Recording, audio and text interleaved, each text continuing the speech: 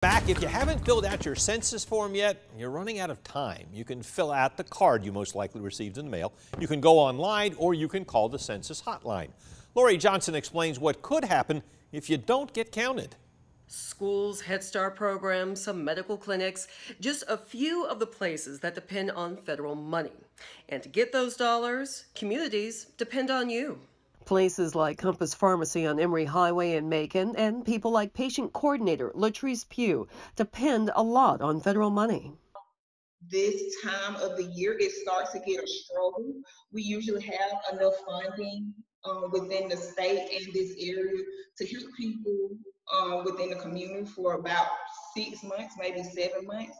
And like now, I'm beginning to struggle to try to find as much funding as I can to help these people get their medications. And I don't want to turn anyone away because, you know, you want them to get the care that they need. That care costs a lot of money. Every 10 years, the government uses a formula based on census information to decide how much money a community receives. The more people who complete the census, the more federal money comes in. So far in Macon-Bibb County, just over 49% of households have filled out a census form.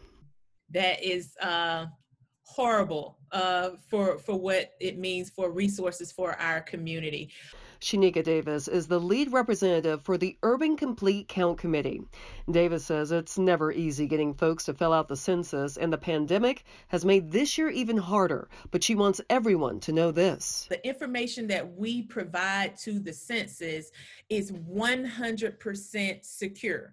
Is that it hurts you more not to participate in the census than the, than the risk of taking and, and participating in answering 10 questions about your household household. There are different ways you can fill out the census. You can call, you can go online, you can fill out the forms you received in the mail.